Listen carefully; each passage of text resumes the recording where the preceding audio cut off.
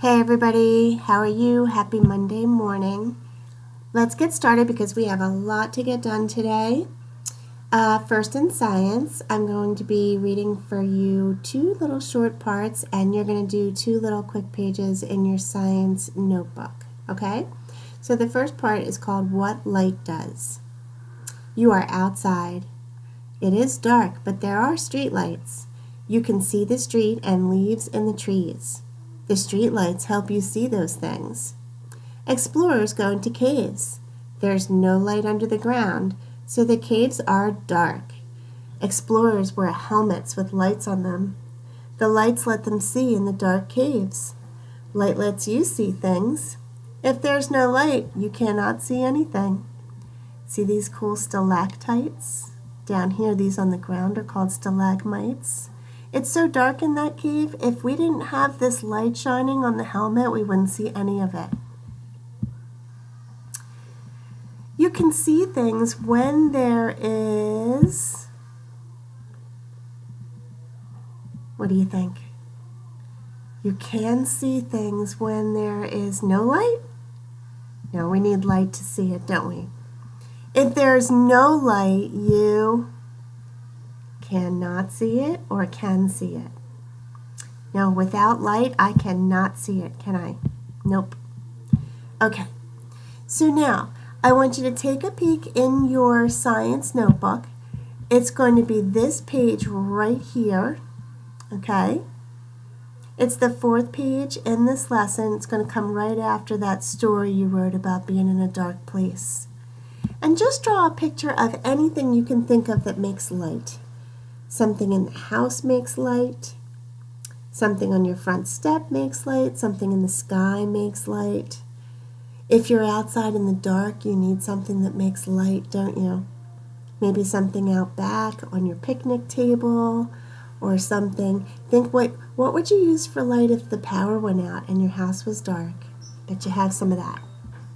Now let's come back after you draw your picture Let's take a look at the next part of the story. Okay? This one's called Making Light. Because I know some things actually make their own light. When people sit around a campfire in the dark, why can we see them? Because the fire makes light. The light helps you see the faces of all the people around the campfire. I can even see the sticks they might be using for roasting marshmallows. But if these people were to step back away from the campfire, notice how it's so much darker behind them? It would get much harder to see them, wouldn't it? Some things make their own light. You can see things that make their own light. The campfire, the light bulb, a candle flame all make their own light. Even a firefly is an insect that makes light on his tail, right? The sun makes light too. You can see streets and buildings and people in the sunlight. But in the dark, right, street lights come on to help you see better. Which of these things can make their own light? Well, the glasses do help me see, but they don't add light, do they? I could wear my glasses in the dark and I still couldn't see, could I? And the magnifying lens will make things bigger, but if it's dark, I can't see it. The flashlight definitely, if I turn on the button, the flashlight will make its own light, won't it? And one more thing, right? The candles, but I definitely have to put a flame on the wick, don't I? If I light the wick, the candle will make its own light, won't it? Now, the last thing I want you to do is the next page in your science notebook there are four things on this page that can make their own light. You're going to find four things and circle them. And then just take a quick peek at this last story.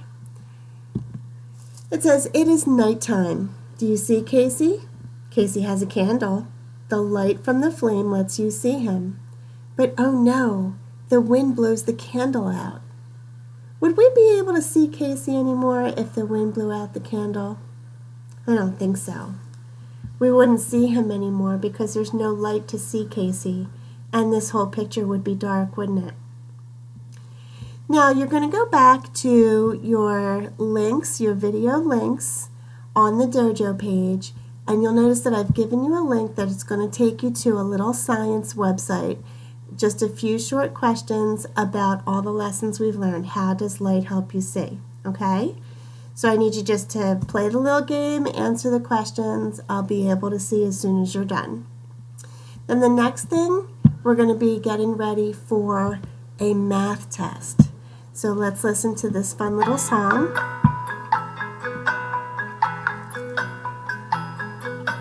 Tick tock, tick tock, hear the chiming of the clock.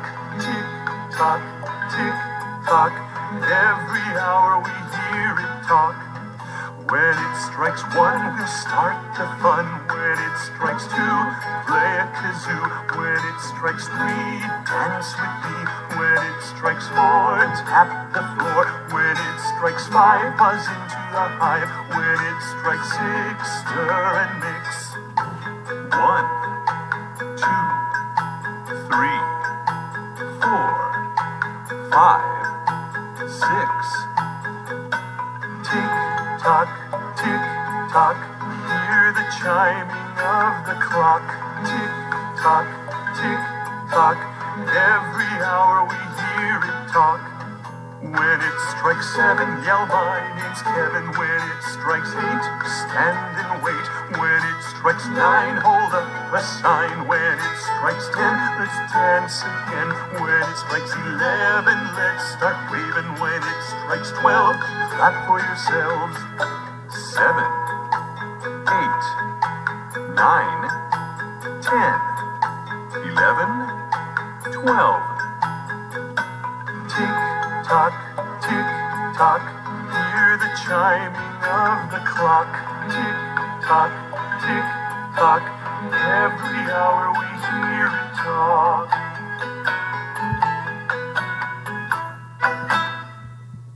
Okay, so boys and girls, we just have a few practice pages that we're going to start right here on page 619 in your math book.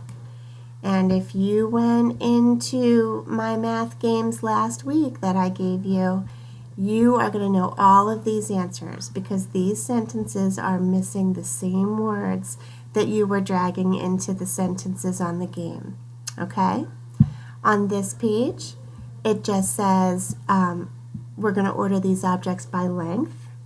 Remember that I told you at the beginning, look for the one that has EST at the end.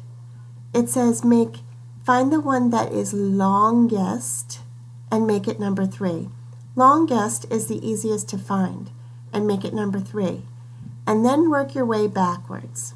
Okay, if three is the longest, then two is longer than the other one but not the longest, and one is long but not as long as the other two, is it?